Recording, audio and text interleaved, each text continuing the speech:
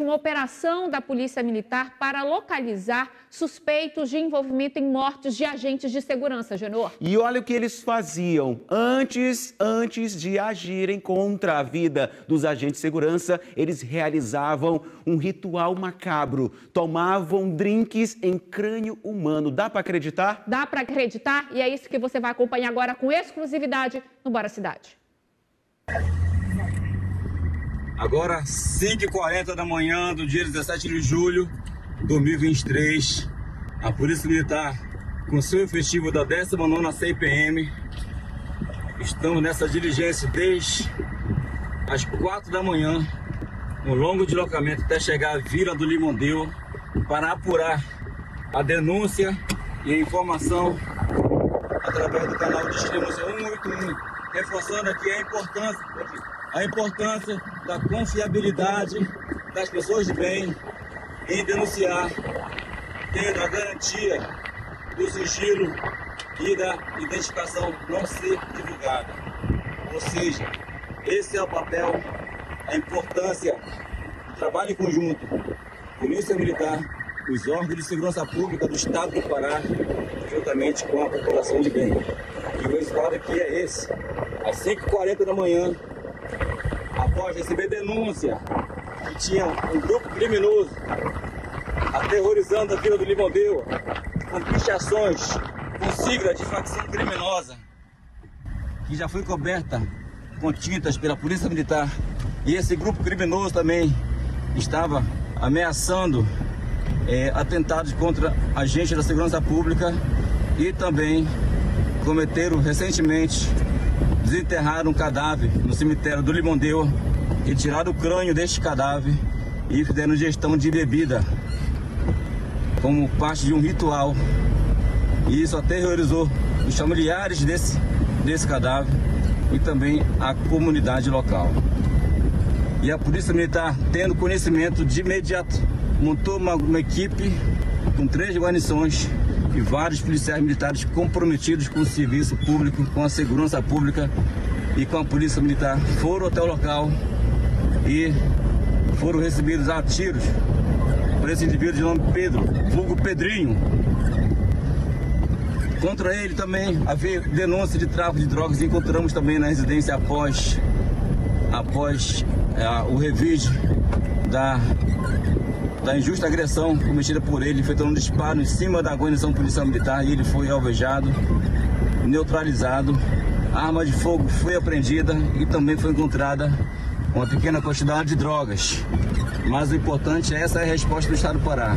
E há relato da própria companheira dele que ele, o Pedrinho, estava envolvido na morte de um policial militar ocorrido no município de Barcarena, informações da própria família dele, segundo a companheira do Pedrinho.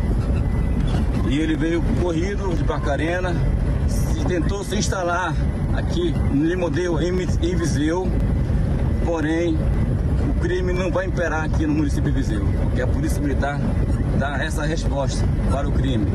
Tá, diga a parte que a senhora falou, que ele está envolvido na morte de um policial militar, que a senhora escutou da própria família dele, então fale. A família dele me falou, eu não sabia, aí eles falaram assim pra mim, tu vai te envolver com ele, tu nem conhece, tu não sabe nem o que ele é. Aí eu falei assim, por quê? Ah, mano, ele, ele é matador. Falaram assim mesmo pra mim, ele é matador. Eu falei, sério mesmo? Eles falaram, hum, sério mesmo. Até inclusive ontem ele jogou o celular, pegou certinho aqui, ó. Sim, mas ele era matador do que? Ele tem matado o? Eles falaram que eu tinha matado polícia. Aonde? Lá. Lá onde? Lá em Barcarena. Essa informação que ele desenterrou um cadáver aqui no cemitério, retirou o crânio para fazer uso de. Quem desenterrou não foi ele. Aí eles eram quatro. Desafio, né? Diz que se eu não fosse muito doido, ele ia Falta de pegar. respeito com a família, né? Não é Não isso. falta de respeito com a pessoa. Falta de Ele um respeito, não porque tem já tá né? morto, aí não tem Pois é, mas Eliseu, um vagabundo, não vai se criar não, viu? Ô, lá, mano. Vamos sair já. Eu vou te levar, É sim, pô, é sim, pô. Olha o cabelo aí, ó. Olha o cabelo aqui, ó. O cabelo, mano. Toma lá comigo lá. Deus que me defenda. Você é um crânio sim, Louco, mano. É sim, pô. Você é um É o crânio, maluco. Tipo, é o crânio. Olha o cabelo aqui, ó. Olha o cabelo aqui, pô. Uma dose aí dentro. Eu falo Toma, toma cachaça agora no crânio do carro. Eu não já tomei a dose aqui, prego? É um crânio, mano. Eu já bebi a dose aqui já, ó. Olha aqui a roupa do cara aqui todinho. Cadê? Agora, porra! É a roupa do cara aí. Mais um final de semana. Hoje eu vou Não é não, partir Vardy. esfriar. Jô, Depois sai da Não é não, mano. Olha aqui, ó. Olha aqui, ó. Que nada, essa roupa aí vai de ratinha já, pá. Muito na Olha aqui, conhece aqui, ó. Parece que eu não conheço nossas camisas, parceiro. Olha aqui, ó. Que nada, fininhos. Tu quiser?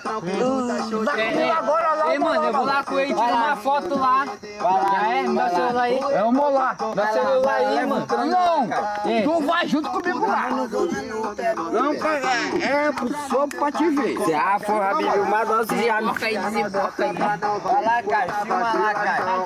Para o som do baile é Vai lá, cara. Vai lá. Eu levo. Cabelo aí, puxa o cabelo aí. Cadê? É um crânio, Matheus.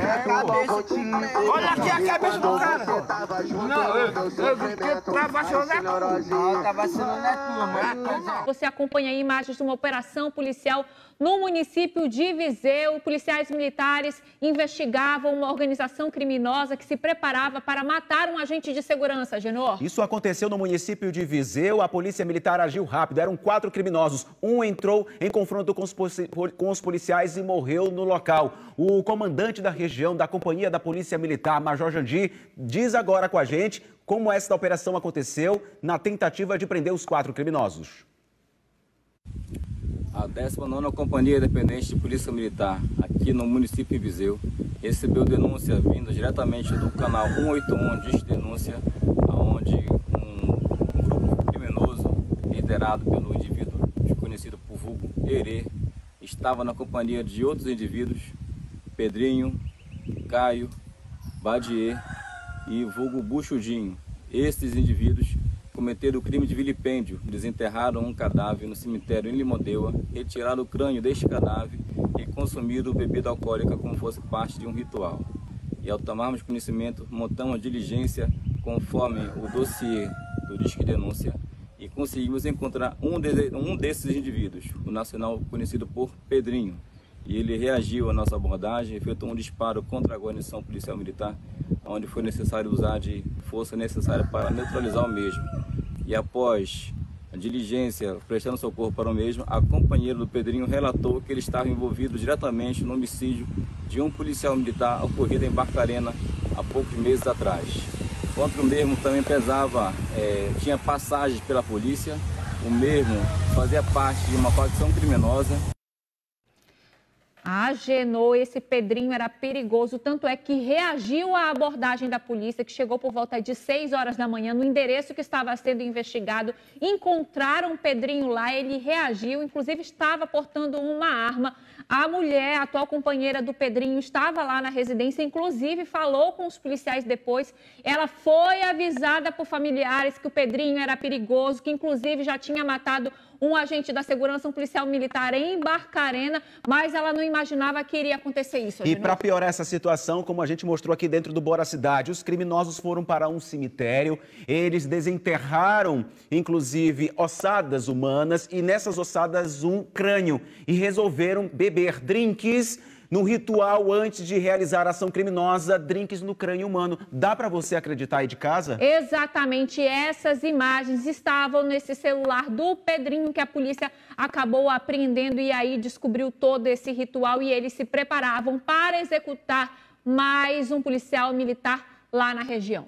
Tá aí, o caso continua sendo investigado, os outros três criminosos conseguiram fugir, mas a polícia já tem a identificação. Agora, Daiane me preparava para dormir e sabia Sim. que o Remo estava fora da zona. Pois é, e aí amanhecemos Entrou a madrugada, Remo voltou para a zona. Danilo Pires aqui com a gente falando de futebol. Não tá fácil a situação azulina, hein? É, boa tarde, Daiane, boa tarde, Agenor. Eu, no esporte, geralmente, eu falo, ah, vamos dar uma respirada, falar de futebol, né? Assuntos pesados.